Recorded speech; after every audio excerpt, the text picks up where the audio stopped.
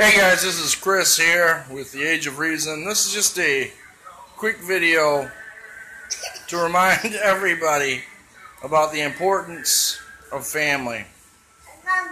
Now, things come up in our lives every day where family will decide to selfishly sever their ties with us based on how we how we perceive the world, how we think about the world, politically, socially,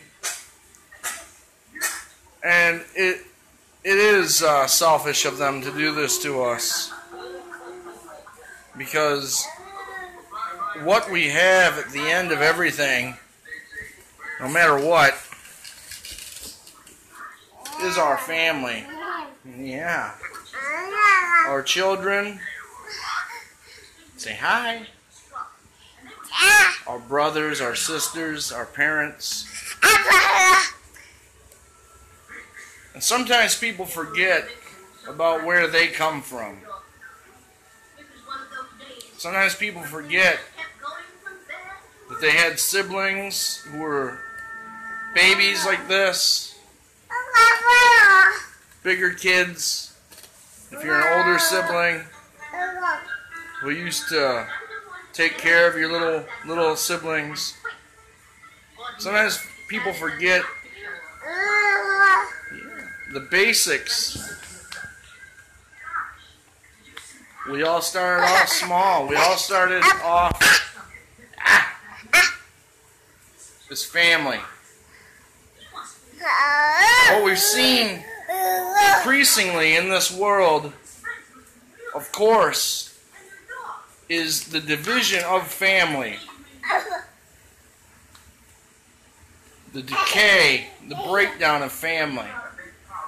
As our children are taken from us, or our parents have their differences and they divorce or split.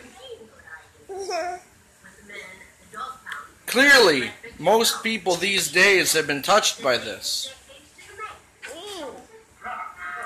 Now, why is this? Of course, because people are living in this reality of the now. Yeah. Of the now, of the I want, of the it's good for me. People don't have the strength required, necessary that our fathers' fathers, our mothers' mothers, our grandparents, in other words, had to get through things. The problem becomes uh, becomes bigger when we have siblings turning on each other,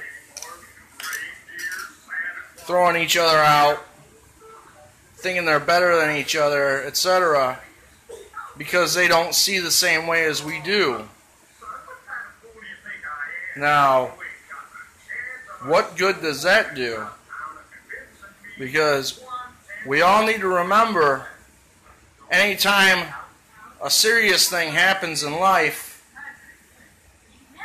a funeral, a loved one in the hospital, what happens? All of a sudden, everybody comes together. Why does it take that to bring everybody back together? Why? Because people have been so brainwashed. The agenda against the strong family has been moved aggressively. A hundred years ago, people didn't just throw each other out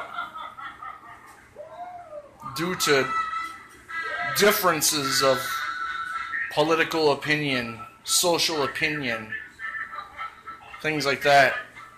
And as we see an increase, yeah, as we see an increase in these agendas by predominantly leftist personalities wanting to destroy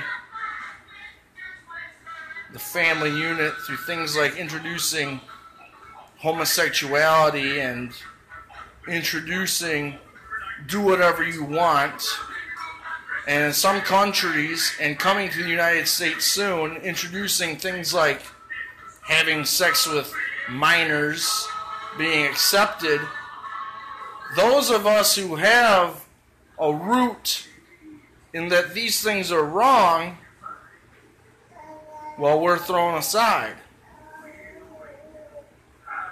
Meanwhile, realistically and honestly, we care.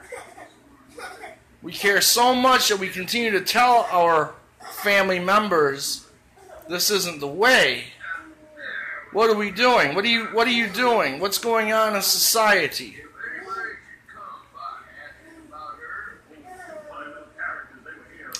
You know, once you become a father or a mother, everything changes. Everything changes. Ah. I never believed it until I became a father. I have two children now. And all I want are all of my children to know each other, to love each other, and to be happy. Part of my personal battle, my personal life war, is getting to see my son. But I can't give up. He's my boy. And he's got a great, beautiful, wonderful, amazing little sister here. Right here waiting for him. And I'm a big brother. And I was proud of my siblings. And he's going to be so proud as well. Yeah. Yeah. Family is the most important thing that we have. The blood in our veins.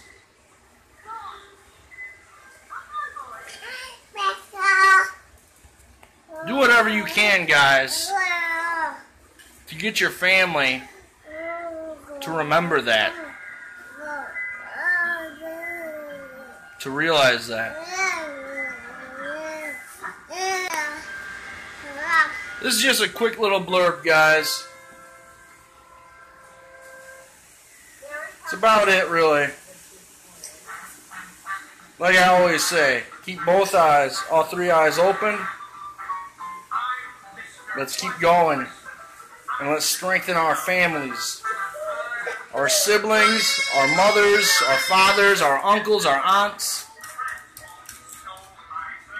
We should never throw each other away. Remind them of that. No matter how much they might look differently on you or anything. We're just trying to keep everyone reminded of what's important. Alright, guys, I gotta go.